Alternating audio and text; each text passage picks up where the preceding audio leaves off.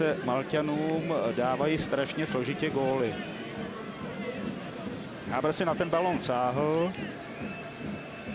Ten míč byl asi i trochu tečovaný, to by nám rozšiřoval tento záběr.